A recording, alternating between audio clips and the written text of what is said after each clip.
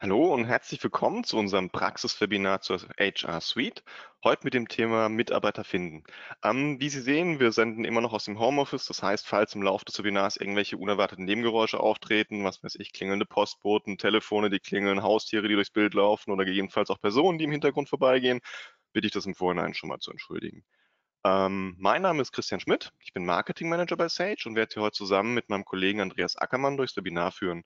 Ähm, bevor wir jetzt direkt loslegen, noch kurz ein paar organisatorische Hinweise.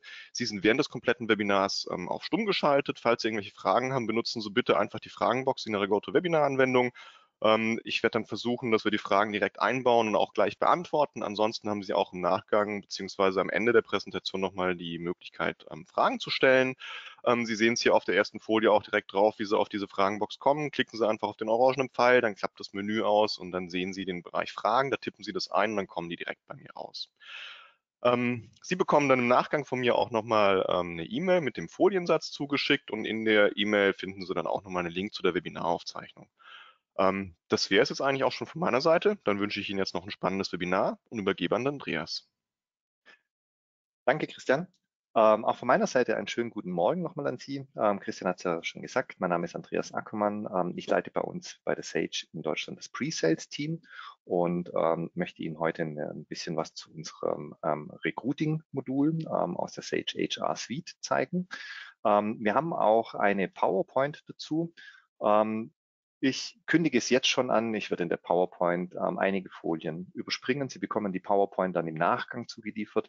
Mir ist es heute wichtiger, Ihnen dann auch ähm, das ganze System live zu zeigen. Nichtsdestotrotz würde ich mit der PowerPoint jetzt erst einmal einsteigen. Und ähm, da geht es natürlich heute vor allem auch erstmal drum, warum macht man denn Recruiting? Was sind denn so die Herausforderungen ähm, fürs Recruiting? Sie sehen es hier, ähm, fürs ähm, Recruiting gibt es so ein paar, wie wir es nennen, Eckpfeiler, die relativ wichtig sind. Und da gehört natürlich mit dazu, ähm, dass Sie sich heute gegenüber Ihren ähm, Kandidaten, also den, den potenziellen Bewerbern, dann auch möglichst als attraktiver Arbeitgeber ähm, bewerben oder vorstellen. Ähm, heutzutage ist es ja tatsächlich so, dass man sagen muss, ähm, durch die sozialen Medien und die Reichweite und auch die Art und Weise, wie sich das Arbeiten in den heutigen Unternehmen geändert hat, ähm, ist es nicht mehr so, dass ähm, ein Bewerber an 50 äh, Firmen schreibt, sondern die Bewerber suchen sich heutzutage schon sehr gezielt ihr Unternehmen aus, wo sie sich dann auch hinbewerben und schauen dann auch, vergleichen dann auch wirklich, wer ist denn eigentlich der Arbeitgeber, zu dem ich denn dann auch möchte. Und deswegen ist es dann auch wichtig, dass man sich schon ähm, vom ersten Schritt an in diesem ganzen Recruiting-Prozess, also schon bevor der Bewerber sich bei Ihnen gemeldet hat, da auch möglichst positiv und als attraktiver Arbeitgeber ähm, bewirbt. Dazu gehört natürlich auch die richtige Ansprache. Dazu gehört natürlich auch, dass man die Hürden, die man einem Bewerber setzt, um sich bei uns im Unternehmen zu bewerben, dann auch möglichst gering setzt, damit man die Bewerberprozesse einfach, schnell und transparent für den Bewerber macht dass man kurze Wege hat. Ähm, das heißt, die Prozesse müssen schnell sein und, und schlank sein, damit der Bewerber auch wirklich zeitnah seine ähm, ähm, Rückmeldungen dann auch von Ihnen erhält. Und das Ganze äh, bedeutet, dass man dazu natürlich heutzutage dann auch ein möglichst umfassendes Recruiting-System braucht, das einen bei diesen ganzen Prozessen und bei diesen ganzen ähm, Dingen, die man hier zu beachten hat, auch tatkräftig mit unterstützt. Trends im Recruiting ähm, da ist natürlich Social Media, ich habe es gerade schon angesprochen, Social Media ist heute eines der wichtigsten Themen, ähm, was das Ganze angeht, ähm, um sich, bevor man einen Bewerber in den Recruiting-Prozess ähm, holt, schon ähm, möglichst gut darstellt. Da gehören die klassischen Plattformen wie Xing und LinkedIn mit drin. Ähm, Facebook hat mit Sicherheit auch eine gewisse Bedeutung. es gibt aber auch noch andere Dinge, wo man sich da eben als Arbeitgeber darstellt. YouTube wird heutzutage sehr stark auch genutzt, um sich als Unternehmen zu präsentieren. Ähm, dann gibt es solche Empfehlungsplattformen, da gibt es verschiedene Möglichkeiten, wo Bewerber oder auch Mitarbeiter ähm, das Unternehmen weiterempfehlen und so auch ähm, Bewerber vielleicht ähm, direkt an die Unternehmen weiter ähm, ähm, vermitteln. Und ähm, das Ganze läuft immer wieder dann darauf hinaus, dass man hier irgendwie automatisierte Prozesse braucht. Also man muss irgendwie in der Lage sein, all diese Dinge, die man da tut, ähm, die ganzen verschiedenen Punkte, die man da draußen hat, dann irgendwo an einer gewissen Stelle dann auch wieder zusammenlaufen lässt, damit man dann auch den Bewerber dann wieder abholen kann und das Ganze dann aber auch messen und tracken kann. Was sind denn so die Herausforderungen und gleichzeitig auch die Chancen? Ähm, die Herausforderungen ist natürlich, dass Sie mehr Reichweite haben wollen, dass Sie ähm, einen gewissen Marketingansatz fahren und das Ganze mit digitalen Prozessen dann auch unterstützen. Was bedeutet das denn? Mehr Reichweite bedeutet, ähm, früher hat es genügt, wenn ich in irgendeiner Plattform die Stelle ausgeschrieben habe oder ähm, ich sage jetzt auch mal die Tageszeitung war das so ein ähm, Medium, mit dem man da durchaus arbeiten konnte. Heute ist alles viel mehr vernetzt. Ich habe es mit den sozialen Medien schon angesprochen. Ähm, das heißt, Reichweite ist einfach wirklich etwas Wichtiges. Und das kann man eben auch durch diese aktive Nutzung von solchen digitalen Medien in verschiedenen Dingen ähm, dann auch erreichen. Und Recruiting bedeutet heute, dass der Recruiter teilweise im Vorfeld schon arbeiten muss wie ein Marketingmanager. Ich muss mein Unternehmen tatsächlich bewerben. Ich muss dafür sorgen, dass ich bekannt werde, dass ich einen Namen draußen habe, dass ich mit positiven Aspekten bei den Bewerbern verbunden werde. Ähm, und das bedeutet, ich habe wirklich in der Zwischenzeit nicht mehr ein reines Abwickeln von Recruiting-Prozessen, ein Durchlaufen von, von verschiedenen Schritten, bis der Bewerber eine Zu- oder eine Absage bekommt oder dann auch in den ähm, Talentpool mit übernommen wird, sondern ich vermarkte wirklich mein Unternehmen an die Bewerber, weil ich möchte ja heute möglichst die hochqualifizierten und geeignetsten Kandidaten für mich haben.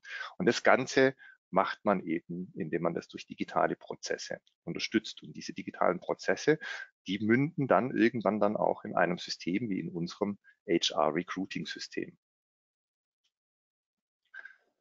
Hier ist noch mal ein bisschen aufgelistet, ähm, was so diese ähm, ähm, Herausforderungen dann auch sein können. Man muss ein bisschen strategischer denken, als man es vielleicht in der Vergangenheit gemacht hat. Hier steht es auch noch mal, was ich gerade eben schon gesagt habe, dass man vielleicht auch so ein bisschen ein Mindset wie so ein Marketingmanager dann entwickeln muss. Wie bewerbe ich denn mein Unternehmen?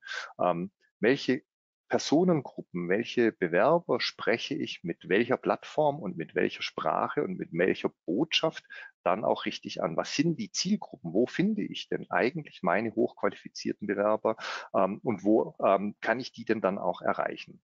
Und am Ende ähm, möchte ich natürlich dann, wenn ich sowas gemacht habe, das Ganze auch messen können. Dazu brauche ich dann auch wieder elektronische Systeme, die mir dann ähm, auch Auswertungen zur Verfügung stellen, in denen ich feststellen kann, wo habe ich denn die meisten Bewerber herbekommen, von diesen Bewerbern, wie viele waren denn da eigentlich die qualifiziertesten Bewerber, wie viele haben sich denn dann für mein Unternehmen entschieden. Das heißt also, am Ende des Tages sage ich in ganz vielen meiner Präsentationen, jeder, der Software einsetzt in irgendeiner Form, der möchte am Ende natürlich die ganzen Daten, die wir da gesammelt haben oder die wir da auch verteilt haben, irgendwo auswerten können.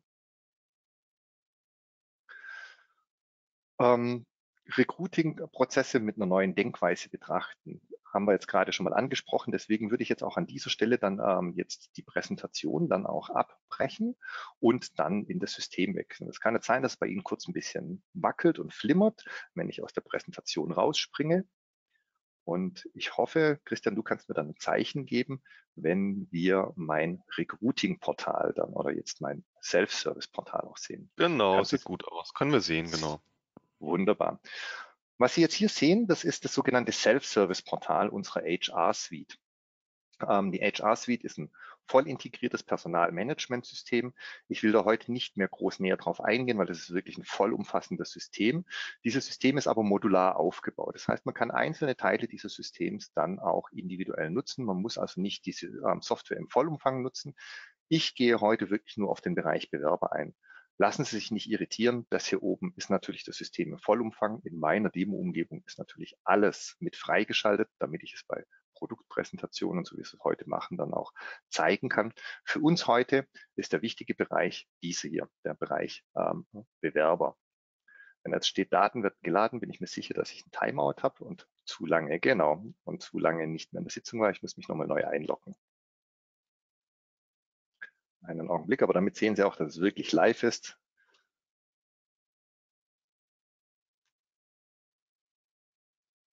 So, logge ich mich nochmal neu ein. Jetzt gehen wir nochmal auf den Bereich Bewerber. Diesen Teil im Self-Service-Portal, den Sie jetzt sehen, den nennen wir das sogenannte Recruiting Cockpit. Das ist meiner Meinung nach so die Schalt- und Waldzentrale für den Recruiter. Ähm, wir haben im Vorfeld, da gehen wir nachher nochmal ein bisschen näher drauf ein, ähm, bestimmte Dinge eingerichtet. Wir haben Stellenausschreibungen ins Internet gepostet, auf unsere Intranet-Seite gepostet. Wir haben sie auf keine Ahnung, Portalen wie Monster oder etwas ähm, dementsprechend ausgeschrieben. Eventuell haben wir auch tatsächlich ähm, Stellenausschreibungen in die Tageszeitung gebracht. Das alles haben wir mit unserem System bewerkstelligt. Wir haben die ganzen Stellenbeschreibungen rausgegeben, haben die verschiedenen Stellen adressiert. Und jetzt sind wir im Recruiting Cockpit. Ich bin eingeloggt ähm, als die Frau Marie Schneider. Das können Sie hier oben an diesem Namen sehen. Und in meinem Demo-Unternehmen ist die Frau Marie Schneider die Verantwortliche für das ganze Thema Recruiting. Und damit Sie all diese verschiedenen Quellen, aus denen Informationen jetzt in so ein System reinlaufen können, dann auch übersichtlich und strukturiert anschauen kann, haben wir eben das Recruiting Cockpit. Hier laufen jetzt alle Bewerbungen, alle Stellenausschreibungen und alle Prozesse, die ich in meinem Recruiting, in meinem Unternehmen habe, zentral zusammen. Und die Frau Marie Schneider hat jetzt hier eben eine Ansicht, mit der sie sozusagen alles sehen kann und jeden einzelnen Prozess anschauen kann. Sie hat hier auf der rechten Seite gleich mal so einen Kalender mit verschiedenen Aufgaben, wo sie sieht, dass sie Termine und bestimmte Aufgaben hat, die noch abgearbeitet werden müssen. Diese Aufgaben resultieren aus den einzelnen ähm, Recruiting-Prozessen, die wir im System mit hinterlegt haben. Auch da werde ich Ihnen nachher noch zeigen, wie sowas dann eventuell aussehen kann. Und wir haben natürlich so kleinere erste Schnellauswertungen. Sie sehen hier zum Beispiel Bewerbungen pro Ausschreibung und Statusgruppe. Wenn Sie das hier oben sehen, da steht jetzt hier dran Assistenz der Geschäftsführung. Eine Stelle, die ich in meinem Unternehmen ausgeschrieben habe. Hier stehen dann ähm, in verschiedenen Farbcodes, dass ich eine Bewerbung im Ausgang, ähm, im Eingang habe, dass ich eine Bewerbung habe, die bereits in einem Auswahlprozess ist und ich habe eine weitere Bewerbung, die in einem Entscheidungsprozess ist. Wenn ich hier auf diese einzelnen Zahlen klicken würde, dann würde ich auch immer direkt zu der richtigen Bewerbung an die richtige Stelle im Prozess springen und könnte hier sofort schauen, was ist hier zu tun, was ist hier der nächste Schritt, um welchen Bewerber handelt es sich, gibt es hier Aufgaben, die ich noch erledigen muss. So können hier alle. Ähm, Andreas, hier kam jetzt auch ja. schon die erste Frage in Verbindung zu den Aufgaben. Und zwar gibt es auch mhm. die Möglichkeit, der Vertreter ähm, für diejenigen ähm, anzulegen, zum Beispiel wenn jetzt jemand im Urlaub ist oder krank ist.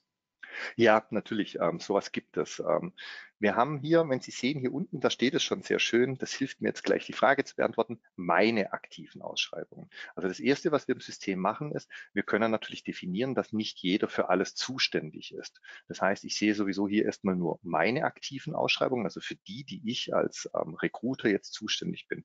Und wir haben die Möglichkeit, natürlich Vertreterregeln einzurichten. Das gibt es dann unterschiedliche Möglichkeiten. Man kann sozusagen einen parallelen Zugriff genehmigen. Das heißt, dass man immer sagt, es werden immer zeitgleich zwei Personen ähm, informiert.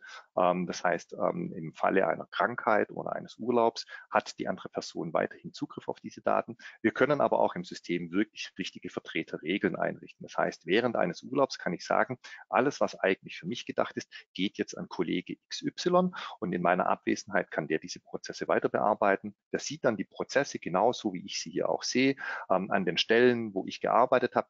Ähm, wir haben auch Protokolle, das werde ich Ihnen dann auch noch an einer gewissen Stelle äh, zeigen zeigen, wo wir wirklich sehen, wo jeder einzelne Schritt dokumentiert ist. Das heißt also, wenn mein Stellvertreter jetzt unverhofft die Stellvertretung übernehmen muss, was ja zum Beispiel in einem Krankheitsfall ähm, dann ähm, eher ähm, der Fall wäre, dann sieht er auch ganz genau, was habe ich alles gemacht was wurde mit dem Bewerber äh, besprochen, welche Prozessschritte hat er und kann dann wirklich nahtlos an dieser Stelle dann auch für mich übernehmen.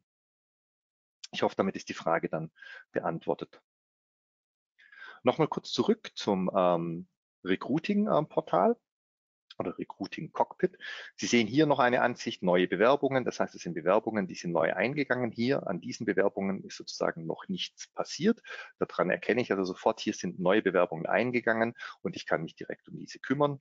Und wie ich es jetzt gerade schon erwähnt habe, hier unten nochmal eine Gesamtansicht meine aktuellen, meine aktiven Ausschreibungen. Und dann habe ich hier noch eine kleine Übersicht. Hier nehmen wir zum Beispiel den Blogger Online-Redakteur. Hier habe ich zwei neue Bewerbungen oder besser gesagt zwei Bewerbungen insgesamt. Ich habe hier zwei Aufgaben. Sie sehen auch schon hier dran. Zwei Aufgaben, die auch meine eigenen Aufgaben sind, denn das ist ein prozessunterstütztes System. Das bedeutet, es könnten natürlich hier Aufgaben offen sein, die jetzt nicht bei mir liegen könnte zum Beispiel die Beurteilung durch die Führungskraft auch sein, die dann schauen muss, ist dieser Bewerber qualifiziert? Möchte ich diesen Bewerber zum Beispiel in den nächsten Schritt reinholen, also zum Telefoninterview einladen oder zum ersten Vorstellungsgespräch einladen? Da ich der verantwortliche Recruiter bin, sehe ich aber immer alle Aufgaben und sehe diese Aufgaben immer getrennt von es sind meine eigenen Aufgaben oder es sind Aufgaben, die jemand anderes in meinem Unternehmen ähm, ähm, erfüllen muss und dass ich hier nochmal nachschauen kann, wo ist denn da der Status. Sie sehen hier oben gibt es dann noch so ein paar Leisten, da gibt es die Bewerber. Hier sehe ich natürlich alle meine Bewerber. Wenn ich da mal draufklicke, dann lädt die Seite. Ähm, jetzt sehe ich alle Bewerber, die es in meinem Bereich, die, für die ich zuständig bin, hier gibt. Das sind einmal die Ansicht in Kachelform. Ähm, das kann man auch in einer Listenansicht wechseln, wenn man das lieber möchte. Ich prinzipiell arbeite lieber mit der Kachelform, aber das ist, glaube ich, Geschmackssache. Wir haben auch die Möglichkeit zu sagen, welche Informationen wollen wir denn hier einblenden.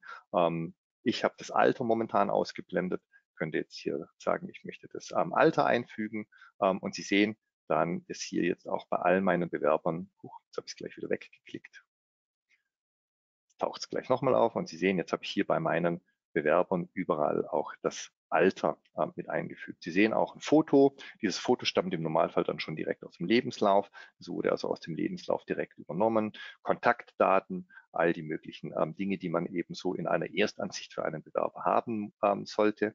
Sie sehen auch hier unten gab es schon Beurteilungen für diese Bewerber. Ähm, das ist die sogenannte Erstbeurteilung. Da machen wir das hier mit diesen drei Daumen.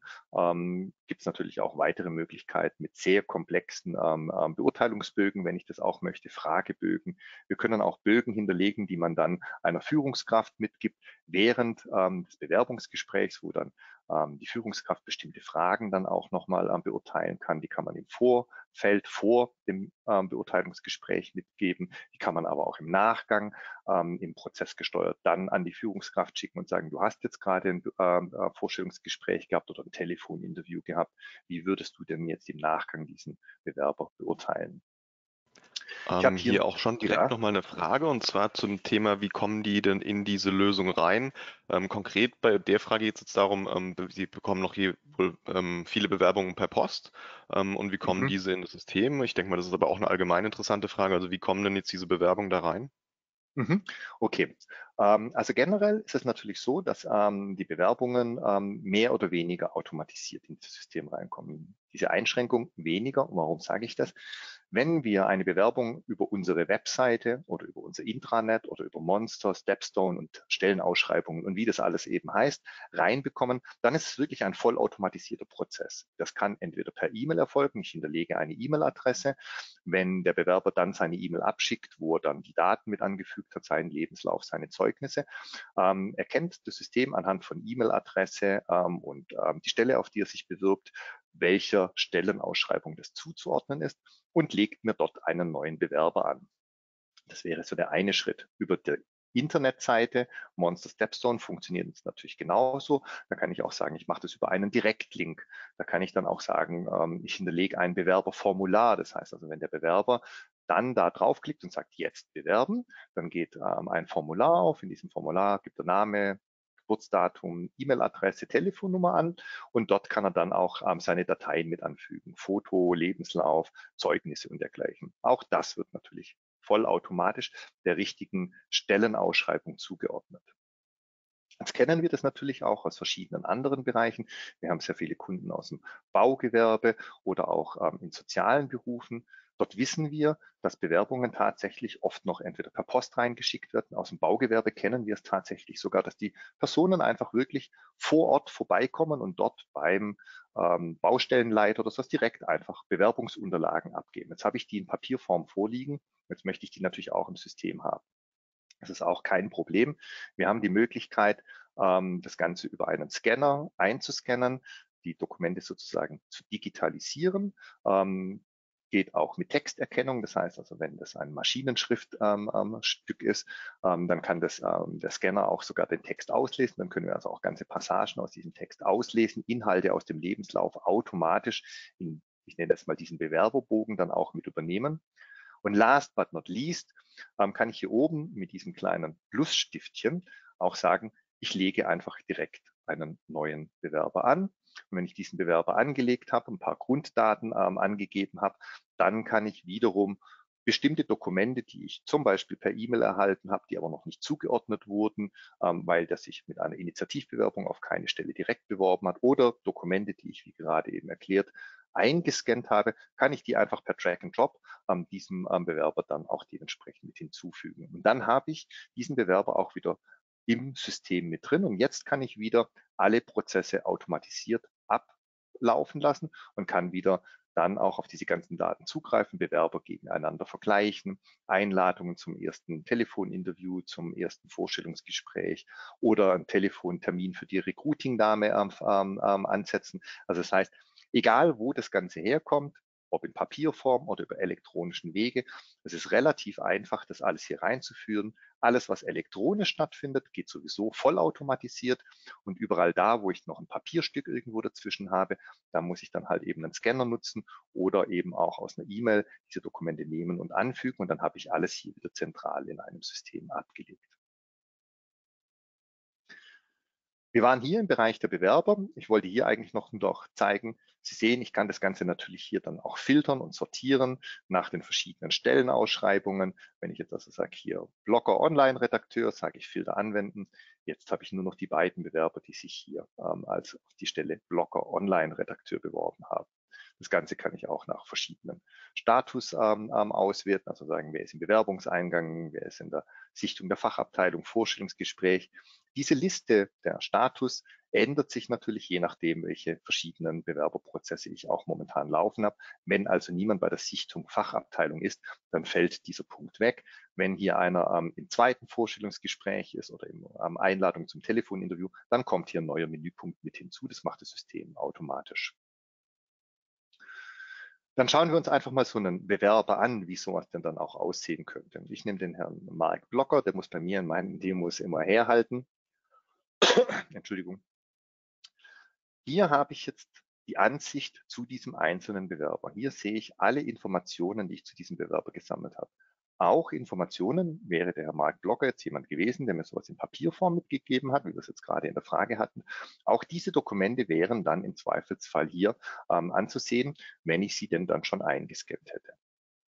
Auf der linken Seite ähm, habe ich ähm, verschiedene Daten, die ich zu dieser Person eben habe. Ähm, wenn ich sowas weiß, Kündigungsfristen, sein letztes Gehalt, sein Wunschgehalt, ähm, all solche Dinge. Ich sehe auch schon, wie wurde er beurteilt. Sie sehen, hier gibt es wieder meine drei Daumen. Das kann man dann in den Prozess mit einbinden. Das ist ein Kann, kein Muss. Also wenn Sie so etwas nutzen wollen, kann man sagen, hier der Recruiter macht zum Beispiel erstmal den grünen Daumen. Das bedeutet aus der Sicht des Recruiters ist es ein geeigneter Kandidat. Grüner Daumen bedeutet dann in meinem Beispielprozess, den ich hier jetzt für mich auf aufgesetzt habe, dass der Bewerber jetzt an die Fachabteilung übergeben wird.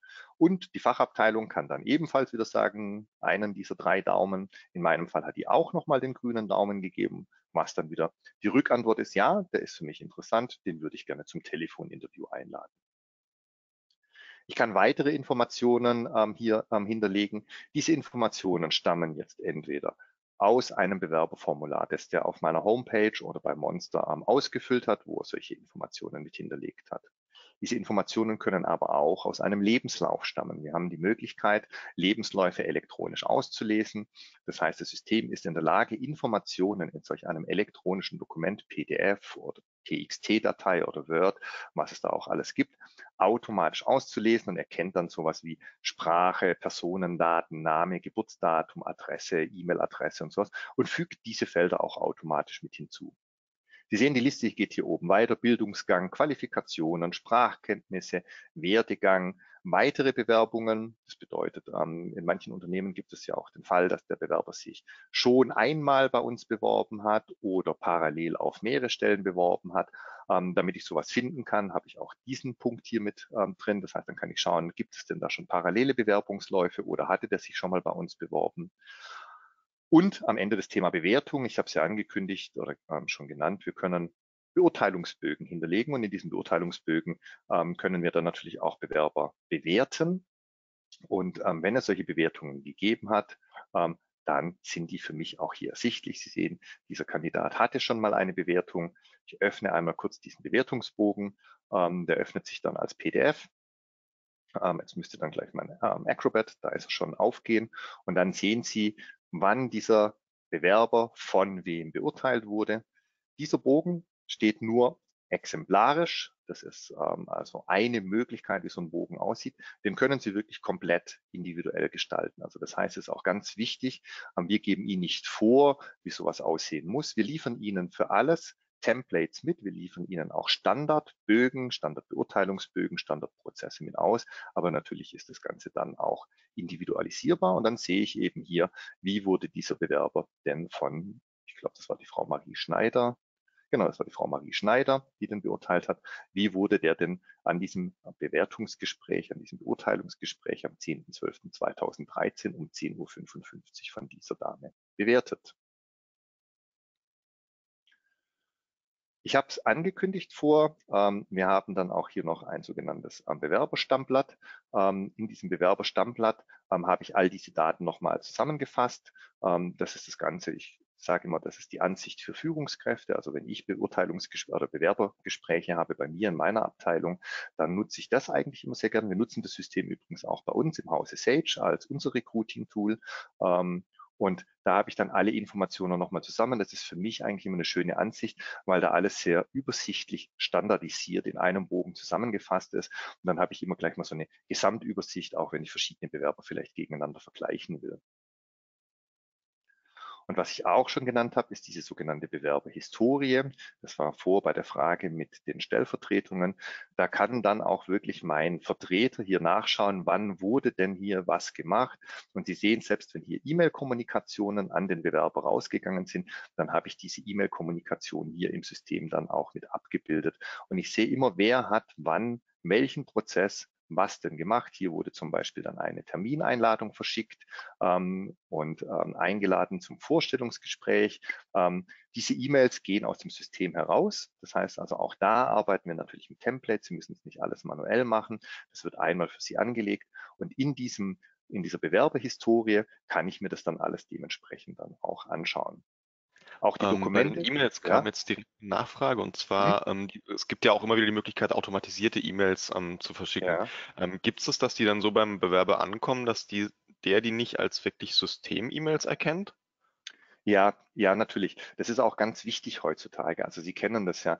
Ähm, das hat ja wieder was, was ich vorher gesagt habe, auch mit dieser Art und Weise, wie, wie präsentiere ich mich gegenüber diesem Bewerber, wie ähm, repräsentiere ich mein Unternehmen. Natürlich sage ich jetzt mal, ist der Klassiker, in dem Augenblick, wo der auf Bewerbung abschicken klickt, da kommt eine E-Mail raus, die sagt, vielen Dank für den Eingang Ihrer Bewerbung. Das ist eine System-E-Mail. Bitte antworten Sie nicht auf diese E-Mail. Wir werden uns dann in ein bis zwei Tagen bei Ihnen melden. Aber die nächste E-Mail, die da hinten rausgeht, und ich kann das wirklich automatisieren, dass ich also sage, ich muss das gar nicht mehr anstoßen, ähm, die sieht wirklich aus wie eine E-Mail, die von Ihnen kommt. Also in meinem Fall könnte das dann sein, dass da zum Beispiel dran steht, ich glaube, wir können es in der Bewerberhistorie sogar sehen. Jetzt mal schauen, Ihre Bewerbung. Genau, dann sehen Sie hier Ansprechpartner, Ihre Bewerbung. Sehr geehrter Herr Blocker, wir bedanken uns nochmal für die Unterlagen. Ähm, freundlichen Grüßen, Frau Marie Schneider. Die ist wirklich individuell konfigurierbar. Diese E-Mail geht auch von einer von Ihnen genannten E-Mail-Adresse dann auch aus, marieschneider.dienstleistungsunternehmen.de. Das ist jetzt bei mir die Adresse. Ähm, und ich kann zu verschiedenen Zeitpunkten solche E-Mails rausschicken. Das kann das System immer automatisch machen. Mein Beispiel wäre jetzt, Bewerbung kommt am Samstagabend an, dann bekommt er eben diese Systemmail, vielen Dank für Ihre Bewerbung. Am Montag sage ich ab 10 Uhr ähm, geht eine E-Mail raus. Das ist dann diese E-Mail hier. Danke, Herr Marc Blocker. Ähm, danke, dass Sie sich bei uns beworben haben. Mein Name ist Marie Schneider. Freut mich, dass Sie Interesse an unserem Unternehmen haben wird dann dementsprechend verschickt. Da steht dann vielleicht drin, dass wir uns in den nächsten zwei bis vier Tagen bei dem Bewerber melden. Wenn ich jetzt aus irgendeinem Grund nicht geschafft habe, mich persönlich bei diesem Bewerber zu melden, kann ich in meinem Prozess definieren, wenn nicht innerhalb von vier Werktagen eine E-Mail oder eine Korrespondenz zu dem Mitarbeiter von mir aktiv aufgenommen wurde, dann schickt das System A eine Erinnerung an mich, das mir sagt, ähm, hallo Frau Marie Schneider, Sie müssen bitte mit dem Bewerber nochmal Kontakt aufnehmen. Und zeitgleich schickt dieses ähm, System auch eine E-Mail an den Bewerber raus. Er sagt, ähm, entschuldigen Sie, Herr Marktblocker, wir haben gerade ein hohes Bewerberaufkommen oder aufgrund von Corona ähm, dauern bei uns die Bewerbungsprozesse ein bisschen länger, weil wir jetzt alle vom Homeoffice aus arbeiten müssen. Ähm, bitte haben Sie Verständnis, ähm, dass es noch ein bisschen länger dauert. Wir wertschätzen Ihre Bewerbung natürlich. Und sollten Sie in der Zwischenzeit Fragen haben, dann wenden Sie sich doch bitte direkt persönlich an mich. Name, Adresse, Telefonnummer. Also das heißt, diese E-Mails sind wirklich echte personalisierte E-Mails. Ich sehe die auch in meinem Ausgang. Also das heißt, ich kann sehen, dass die von meiner E-Mail-Adresse aus verschickt wurden und ich kann das auch so einrichten, dass wenn dann Rückläufe auf diese E-Mails kommen, dass die nicht nur im System landen, sondern dass ich die auch wirklich in meinem eigenen persönlichen Posteingang habe. Mein Anraten ist natürlich immer, machen Sie dafür ein eigenes Mailfach, ähm, wo diese Bewerbungen dann oder diese E-Mails reinlaufen und wo die rausgehen. Sonst mischt sich das mit Ihrem Tagesmail-Konto und das kann dann ein bisschen unübersichtlich werden. Aber die wichtige Frage war ja, sind die individualisierbar? Ja, die sind absolut individualisierbar und die sehen wirklich aus, als wären es Mails, die von Ihnen, von einer echten Person direkt verschickt wurden. Das ist auch wichtig, damit der Bewerber das Gefühl hat, er wird wertgeschätzt und nicht hier, ich rede da jetzt mit irgendeinem dummen System, das mir da automatisiert E-Mails zuschickt. So, jetzt muss ich kurz überlegen, Genau, Dokumente. Ich wollte Ihnen die Dokumente zeigen. Ähm, Sie sehen, hier sind verschiedene Dokumente. Wenn ich da draufklicke, das Prinzip haben wir jetzt schon ein paar Mal gesehen, dann kann ich mir auch die Dokumente, die hier mit angehängt sind, dann hier auch anzeigen lassen. Das heißt, alle Unterlagen, die der Bewerber mitgeschickt hat, sind selbstverständlich auch immer an diesem Bewerbungsprozess mit angefügt und können von mir dann auch ähm, dann äh, bearbeitet werden. Auf der rechten Seite habe ich noch die Möglichkeit, weitere Aufgaben zu hinterlegen. Das heißt, ich kann hier sagen, ich möchte den Bewerber absagen oder der Bewerber hat mir abgesagt. Sind Sie hier Absage durch Bewerber, Bewerber absagen, ähm, Bewerber absagen mit Aufnahme in den Bewerberpool. Also von hier aus kann ich dann auch wieder Prozessschritte steuern, die dann wieder ähm, ähm, weitere automatisierte Prozesse auslösen. Ich gehe jetzt kurz einmal noch in den Bereich ähm, ähm, Auswertungen. Dann schauen wir uns noch ein paar Auswertungen an.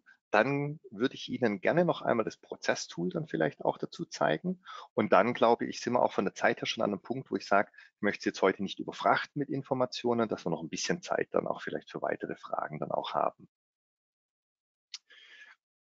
Ich habe jetzt im Bereich Auswertungen auf Bewerber geklickt. Jetzt muss ich natürlich hier noch einen validen Zeitraum ähm, anfügen. Ähm, in meinem System ist alles ein bisschen älter. Ähm, haben Sie dafür Verständnis? Das ist sozusagen das Demo-System. Ähm, deswegen springe ich da jetzt mal relativ weit zurück in den Januar 2010 und sage ähm, alle Bewertungen seit dem 01.01.2010. Dann sehen Sie auch hier drüben so eine kleine Ansicht. Da sehe ich dann ähm, auf die einzelnen Stellen, wie viel Prozent meiner Bewerbungen sind auf diese einzelnen Stellen eingegangen. Hier drüben sehe ich das auch nochmal. Wenn ich dann so etwas ähm, dann auch ähm, anklicke, dann nehmen wir jetzt wieder den Blogger Online Redakteur, klicke ich da nochmal drauf, dann kriege ich jetzt weitere Ansichten dazu. Ähm, Entwicklung der Hitrate im Ausschreibungszeitraum, ähm, wie sind die Bewerbungen denn reingekommen, ähm, wo, in welchem Status sind die. Hier ist zum Beispiel eine in der Sichtung durch die Fachabteilung, einer ist in der Einladung zum Vorstellungsgespräch. Eine dieser Bewerbungen kam per E-Mail rein und dann sehr schön passt zu der Frage, die wir vorhatten. Eine E-Mail kam oder eine Bewerbung kam hier eben auch per Post rein. Also das System wertet mir das auch aus. Ich kann das mit angeben, dass diese E-Mail eben per Post kam, also in Papierform und dass ich die eingescannt habe. Und so habe ich hier schon mal die ersten Schnellauswertungen, mit denen ich ganz schnell bestimmte Informationen ähm, mir abrufen kann. Es gibt etliche weitere Auswertungen nach Altersgruppen, nach Hitrate, ähm, nach ähm, Stellenausschreibungen, nach Laufzeit, nach Kosten und, und, und. Also wir können hier etliche Bewerbungen, äh, ähm, Bewerbung, Bewerbungen, Entschuldigung, etliche Auswertungen ähm, zur Verfügung stellen. Ähm, und wir können auch weitere individuelle Reports zur Verfügung stellen. Einen anderen Bereich, den ich Ihnen da aber gerne noch zeigen will, weil ich das schon ein paar Mal angesprochen habe, ist das Thema Bewertungen. Das heißt, wenn ich einen Bewerber bewerte, dann habe ich meistens ja einen Fragebogen dazu und dann möchte ich ja im Zweifelsfall diese ähm, Fragebögen auch irgendwie auswerten. Ich nehme jetzt den ähm, Fragebogen nach dem ähm, allgemeinen Bewertungsbogen und sage Bewerbungen auswählen. Da habe ich wieder meinen Mark Blocker und ich habe auch die Maria Kolumne. Ähm, die haben sich beide auf die gleiche Stelle beworben, das weiß ich. Dementsprechend ähm, nehme ich diese beiden. Ich möchte diese beiden gegeneinander vergleichen. Und Sie sehen, ich habe jetzt hier sofort eine Auswertung anhand des Fragebogens, den ich für diese beiden Bewerber ausgefüllt habe, gibt mir das System, wenn ich das möchte, einen Indikator. In meinem Fall ist das ein Wert von 0 bis 100, also ein Prozentwert, ähm, wo ich sagen kann, wie haben die denn abgeschnitten. Wenn ich auf diesen Balken klicke, dann kriege ich weiter eine Auswertung. Wie setzt sich das denn zusammen? Da sehen Sie, ähm, ein Teil ist die allgemeine Einschätzung und ein Teil ist die fachliche Einschätzung. In der allgemeinen Einschätzung ist der Herr Blocker ein bisschen besser davon gekommen. Er hat 38, ähm, die ähm, Dame hat nur 35 Punkte. Dafür hat sie in der fachlichen Einschätzung eine deutlich bessere äh, Beurteilung. Und wenn ich jetzt da wieder drauf klicke, dann teilt sich das wieder weiter auf. Und zwar jetzt wirklich auf die einzelnen Fragen, die ich hier im System gestellt habe. Wenn Sie noch so ein bisschen dunkel sich dran erinnern, den Bogen, den ich vor ähm, gezeigt habe, da kamen solche Fragen zum Beispiel, wie bewerten Sie das Auftreten des Bewerbers zwischen sehr gehemmt und sehr selbstsicher? Und da sehen Sie dann auch, hier in der Mitte kann man es erkennen, ist nochmal eine Angabe, ähm, wo der denn dann ungefähr liegt. Das heißt, ich habe das einmal als grafische Darstellung, aber Sie sehen auch die einzelnen Punkte dahinter. Und so habe ich die Möglichkeit eben auch nochmal losgelöst von, von einem sehr subjektiven Gefühl vielleicht, auch nochmal nur anhand von diesen Auswertungsbögen, die ja dann vielleicht gar nicht von mir als Recruiter bearbeitet wurden, sondern von einer Führungskraft, ähm, nochmal zu vergleichen, wer ist denn jetzt rein auf der Auswahlebene anhand so eines Bewertungsbogens oder mehrerer Bewertungsbogen eventuell der bessere ähm, Kandidat. Das soll natürlich nicht die Grundlage sein, auf der Sie allein entscheiden, ähm, ist es jetzt mein Kandidat. Aber es gibt Ihnen mit Sicherheit schon mal so einen guten Eindruck. Also was wir hier zum Beispiel gesehen haben, ähm, wenn die Dame hier in dem Bereich bei der ähm, fachlichen ähm, Eignung tendenziell immer besser ist, dann weiß ich, dass sie offensichtlich höher qualifiziert ist, einfach was jetzt die fachliche Eignung angeht. Das heißt also, soll mich einfach nur wieder bei meiner Beurteilung des Bewerbers unterstützen. Ich frage jetzt am besten gleich nochmal, bevor ich wechsle. Ähm, Christian, gibt es vielleicht hier noch Fragen oder ich frage jetzt auch in die Runde. Haben Sie vielleicht jetzt noch Fragen, bevor ich das Recruiting-Portal an dieser Stelle verlasse? Nee, ich habe jetzt keine weiteren Fragen. Wunderbar. Ich würde das Recruiting-Portal jetzt, wie gesagt, an dieser Stelle verlassen, weil ich Ihnen gerne noch ein bisschen was zu dem Thema Prozesse ähm, zeigen möchte. Und zwar habe ich hier diesen sogenannten Prozessdesigner. Ich habe jetzt sehr viel gesagt von Prozessen automatisiert. Da gehen E-Mails raus, wird überge äh, übergeben an die Führungskraft, die dann wieder Beurteilungen machen soll. Wann passiert denn sowas? Wie passiert denn sowas? Da liegen automatisierte Prozesse dahinter. Und diese Prozesse liefern wir natürlich einen Standardprozess mit aus. Wir haben natürlich schon, so ich sage jetzt mal mit unserer Erfahrung, ähm, da wir das ja doch schon sehr recht lange machen, so eine grobe Idee, wie so ein guter Bewerbungsprozess denn aussehen könnte. Jetzt bin ich immer ein Fan, ähm, der sagt, one size fits all gibt es in der Realität nicht. Natürlich passt er nicht für jedes Unternehmen und er passt auch nicht auf Sie. Das heißt, Viele Kunden nehmen diesen Standardprozess im ersten Schritt und dann individualisieren sie den eventuell, indem sie dann Teilschritte dadurch anpassen. Andere Kunden haben schon sehr komplexe, sehr ausgefeilte äh, Bewerberprozesse, Recruiting-Abläufe, wissen ganz genau, wie das bei sich im Unternehmen dann auch stattfinden soll. Deswegen haben wir diesen Prozessdesigner. Den haben wir für viele weitere Bereiche, wie Sie hier sehen können. Also da gibt es alles Mögliche. Ich bin heute im Bereich ähm, Recruiting oder im Bereich Bewerber. Sie sehen dann auch hier unten, hier sehe ich alle meine Teilprozesse. Ich weiß nicht, ob man das sehen kann, wenn ich da mit dem Mausrädchen drehe. Das wechselt da immer ein bisschen weiter. Sie sollten sehen, dass das von ähm, rechts nach links langsam rüberläuft, je weiter ich das Mausrad drehe. Und hier sind dann eben diese verschiedenen Prozesse, die ich da eben auch hinterlegen kann. Diese Prozesse steuern das System. Die sagen, was passiert, wenn eine Bewerbung reinkommt an wen wird die denn dann im Zweifelsfall weitergeladen? Wer muss dann was machen, damit der nächste Prozessteilschritt läuft? In meinem Beispiel habe ich das vorgenannt. Sie erinnern sich vielleicht noch an die drei Daumen, grün, gelb, rot. Ähm, in meinem Beispiel war das jetzt so, dass der Recruiter eine Erstbeurteilung macht, gibt den grünen Daumen nach oben. Das wiederum startet den Prozess Übergabe und Sichtung an der Fachabteilung. Das heißt, wenn ich in meinem System den grünen Daumen gebe, wird diese Bewerbung automatisch von meinem Recruiting-Cockpit an die dementsprechende Fachabteilung, also die Führungskraft. Wenn wir da bei meinem Beispiel bleiben, es hat sich jetzt jemand bei der Sage auf eine Stelle als Pre-Sales beworben. Die Recruiting-Abteilung ist der Meinung, dass er eigentlich ein gut qualifizierter Kandidat ist, jetzt nach Sichtung der ersten Unterlagen, drückt auf den grünen Daumen. Ich als Führungskraft habe ein eigenes Recruiting-Portal. Das ist deutlich abgespeckt. Ich sehe da viel weniger, weil ich wirklich nur einzig und allein auf diesen Prozess dann ähm, zugreife, nämlich jetzt kommt ein Kandidat, der ist laut Recruiting-Abteilung für mich offensichtlich interessant und ich soll bitte kurz die Unterlagen sichten, soll mir die Daten anschauen und soll dann ebenfalls mit einem dieser drei Daumen sagen, ist der jemand für mich oder ist er nicht? In meinem System ist es momentan so eingerichtet. Grüner Daumen bedeutet, den möchte ich auf jeden Fall sehen. Gelber Daumen bedeutet, der ist interessant, gehört aber jetzt nicht zu der ersten Wahl. Das heißt, den stellen wir, was die Vorstellungsgespräche und Beurteilungsgespräche angeht, vielleicht erstmal hinten an, machen vielleicht nur ein Telefoninterview und überlegen dann, ob wir ihn dann zum Vorstellungsgespräch holen. Und der rote Daumen bedeutet aus meiner Sicht, ist der nicht geeignet. Ich würde den gern absagen oder absagen und in den Bewerberpool mit aufnehmen. Ich habe schon mal solche Prozesse geöffnet, dass man das auch mal sieht. Sie sehen, die sind mit grafischen Darstellungen dann auch abgebildet. Ähm, das sind dann auch ähm, verschiedene Icons ähm, hinterlegt, die dann auch hier unten immer dementsprechende Informationen sagen. Sie sehen zum Beispiel hier, da ist so, ich weiß nicht, ob man es erkennen kann, trotz der Schrift, da ist so ein blaues i drunter. Und das i bedeutet, hier muss eine Entscheidung getroffen werden. Und da steht dann auch hier unten drunter wieder, was diese Entscheidung ist, ob nämlich eine Einladung gesendet wird oder nicht. Und dann, wenn das gemacht wird, dann wird die Einladung gesendet und dann sehen Sie hier wieder dran, dann gibt es verschiedene Dinge. Das heißt, da wird eingeladen, da muss ein Termin avisiert werden und da geht natürlich eine E-Mail raus. Und dann endet der Prozess und an dieser Stelle übergibt der Prozess dann an den nächsten ähm, ähm, Schritt. Da wird dann wieder eine Entscheidung getroffen. Ähm, wir haben jetzt auch hier eine Frage dazu. Ich denke mal, das ist was, mhm. was du vielleicht sowieso gezeigt hättest, aber trotzdem jetzt mal gestellt. Und zwar, wir haben je nach Berufsgruppe unterschiedliche Prozesse. Kann man die Bewerberprozesse an für einzelne Berufe oder Stellen individuell auch anpassen?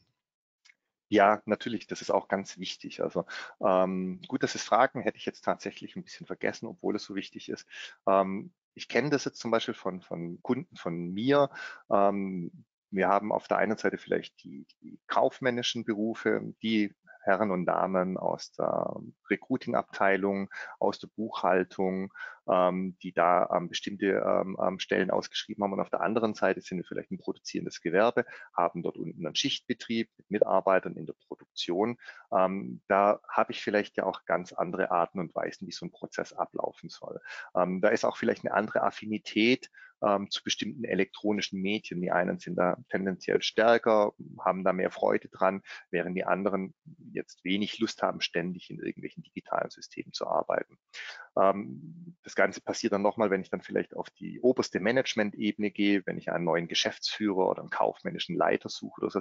Da läuft zum Bewerbungsprozess vielleicht nochmal ganz anders ab, als er jetzt ähm, in, in den ähm, ähm, ähm, Produktionsbereichen dann auch abläuft. Und natürlich kann ich wirklich auch sagen, dass ich wirklich von Bewerbergruppe zu Bewerbergruppe oder von Bereich zu Bereich unterschiedlich agiere. Ich kann das Ganze aber auch wirklich von einer einzelnen Stellenausschreibung zu einer anderen Stellenausschreibung individuell ansetzen. Es gibt zum Beispiel auch Möglichkeiten, dass verschiedene Betriebsstätten unterschiedliche Abläufe haben. Das kenne ich jetzt auch von Kunden, die sind durch Zukäufe ist dieses Unternehmen gewachsen, hat dann mehrere Standorte, ähm, die dann aber halt auch wieder ihre eigenen Prozesse haben. Und ich kann wirklich auf jede Berufsgruppe, auf jede Stelle, auf jede Art und Weise der Stellenausschreibung einen einzelnen individuellen Prozess dann auch hinterlegen. Und wenn wir da gerade schon dabei sind, natürlich muss ich mich nicht sklavisch an diesen Prozess halten. Der Prozess soll ja eigentlich nur helfen, dass ich nur eine Art Standardisierung habe. Die Standardisierung hilft mir, dass Prozesse sauber und ordentlich durchlaufen, dass ich alle Kriterien einhalte, dass ich alles sauber abarbeite. Aber auch da ist es natürlich wieder Ausnahmen bestätigen die Regel.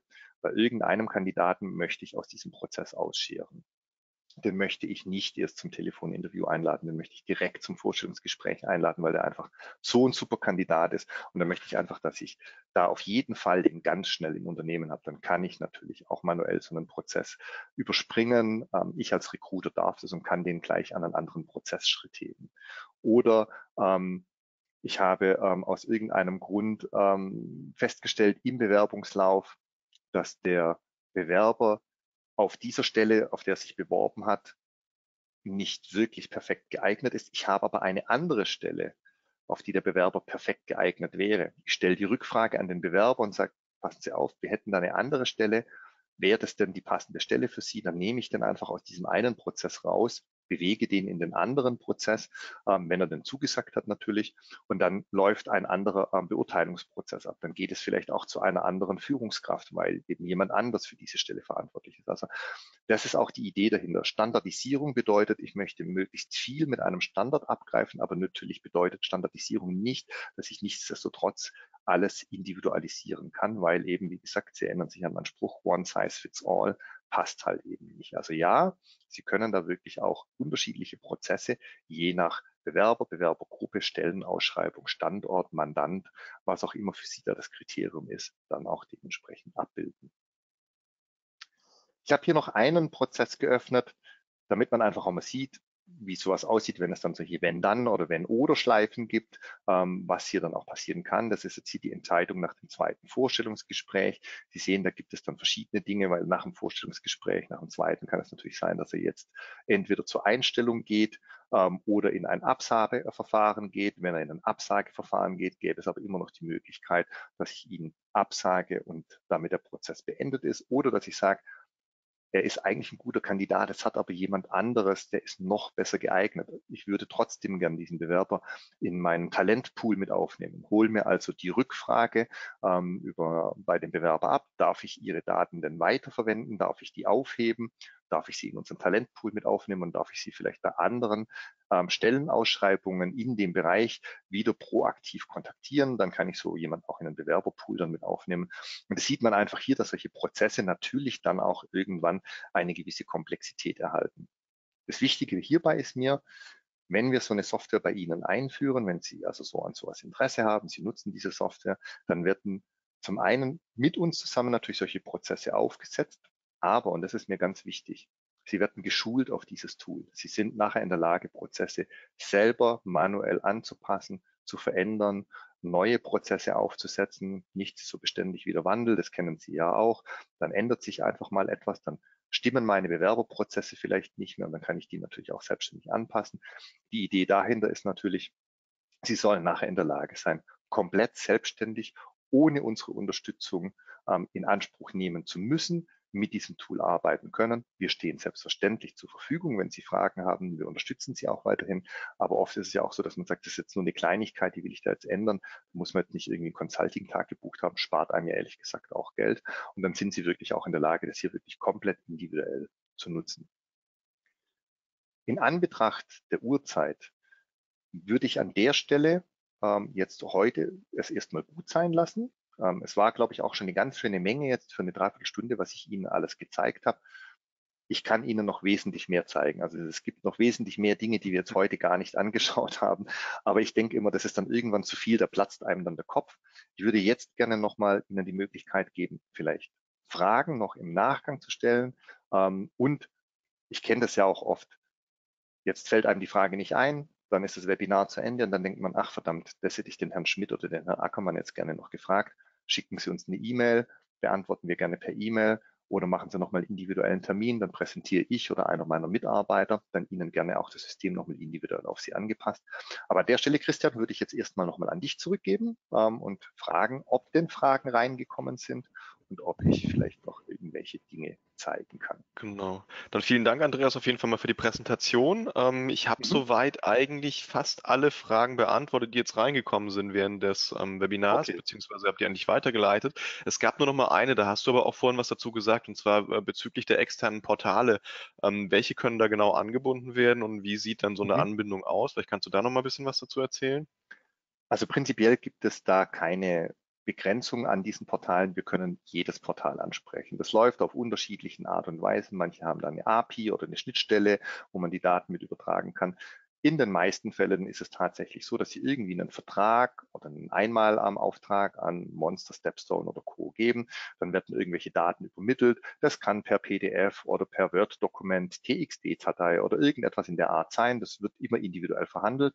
Und wir können alle diese Portale bedienen.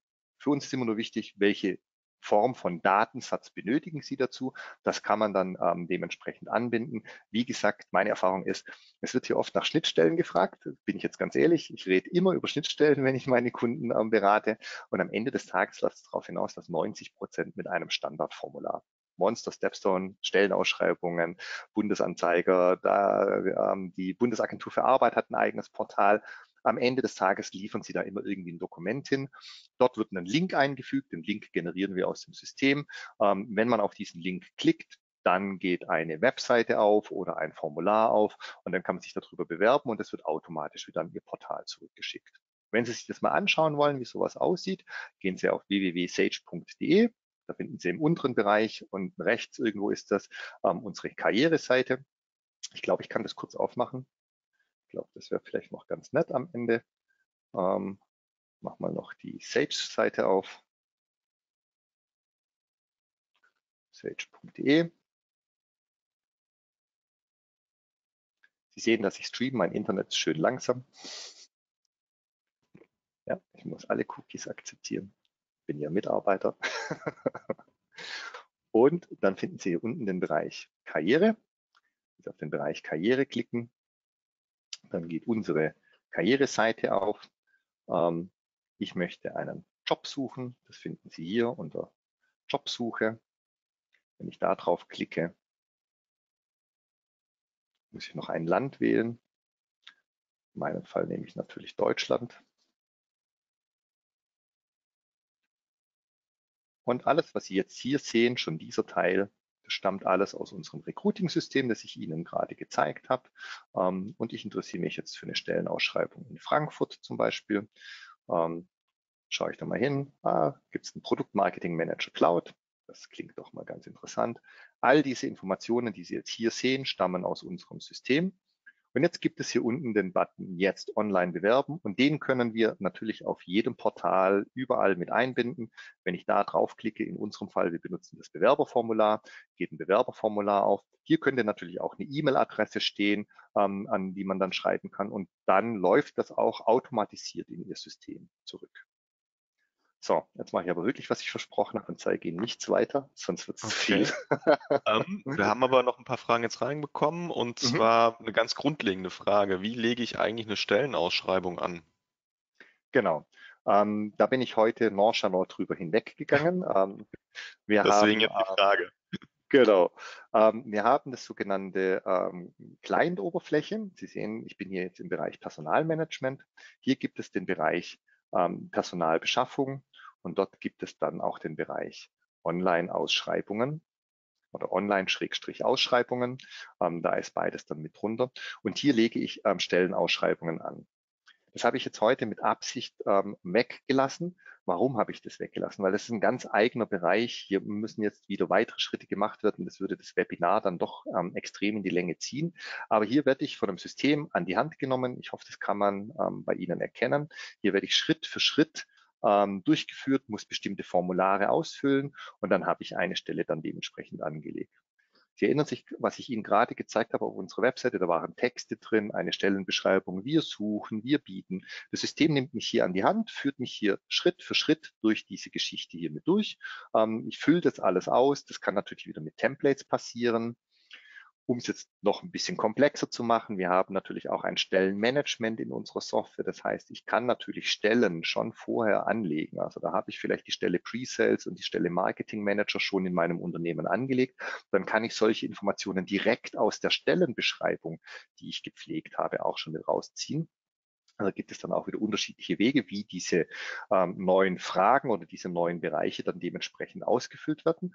Und so klicke ich mich Schritt für Schritt dadurch. Ich sage, wann soll das veröffentlicht werden, intern, extern. Ähm, Sie sehen, hier sind auch die Stellenportale. Da sind dann schon mal ein paar mit hinterlegt, Stepstone und Stellenanzeigen.de. Das sind aber nur Beispiele in meinem Demo-Unternehmen. Monster ist hier natürlich noch genannt.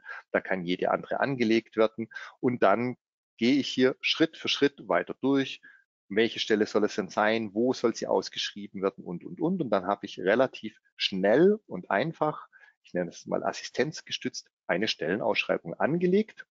Wenn ich das alles durchgeklickt habe, dann ist das Ergebnis das hier. Okay, perfekt. Ich sehe schon, dass du auch direkt dann die zweite Frage beantwortet, nämlich ob aus dem System heraus diese Ausschreibungen auch geschaltet werden können, aber die hast du ja, ja. beantwortet. Genau. Ähm, also dann das passiert ja. alles automatisch. Entschuldigung, Christian, wollte ich sagen, das passiert alles automatisch.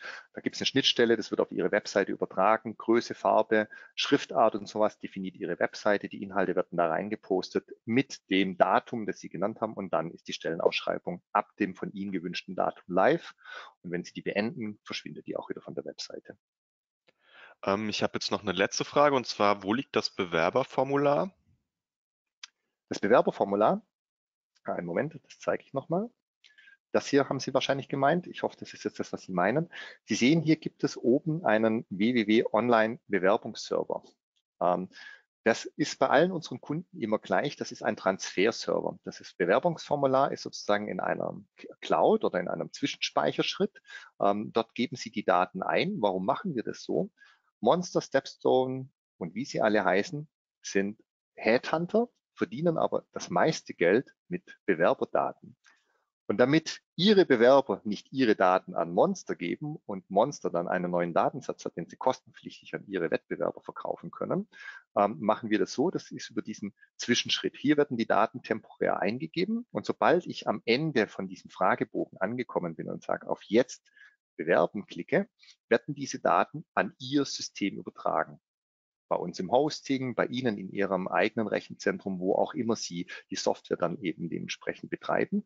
Und Monson Stepstone wissen eben nur, es hat sich eine Person bei Ihnen beworben. Die Daten, die diese Person eingegeben hat, sind aber einzig und allein bei Ihnen. Das haben wir mit Absicht ebenso gemacht, damit nur Sie diejenigen sind, die diese Daten haben. Das heißt, das Bewerberformular liegt prinzipiell auf Ihrem Server. Das heißt also, da kommt kein anderer ran ähm, und die Daten sind einzig und allein bei Ihnen.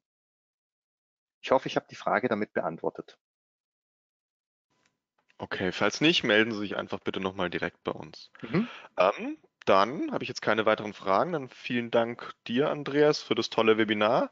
Ähm, sollten Sie jetzt im Nachgang schon mal nochmal irgendwelche Fragen haben, Andreas, du hast es vorhin auch schon gesagt, ähm, Sie können dann einfach direkt auf einen von uns beiden zubekommen. Sie erhalten nachher auch nochmal oder im Laufe des Tages eine E-Mail von mir, wo dann auch der Foliensatz drin ist und die Webinaraufzeichnung. Da sehen Sie dann auch unsere E-Mail-Adressen, wo Sie sich mhm. dann einfach direkt melden können. Dann bleibt mir nur noch zu sagen, vielen Dank für Ihre Teilnahme. Wünsche ich Ihnen noch eine schöne Restwoche. Bleiben Sie gesund. Tschüss und bis zum nächsten Mal. Ich sage auch Tschüss. Vielen Dank. Machen Sie es gut. Bis bald. Tschüss. Ciao.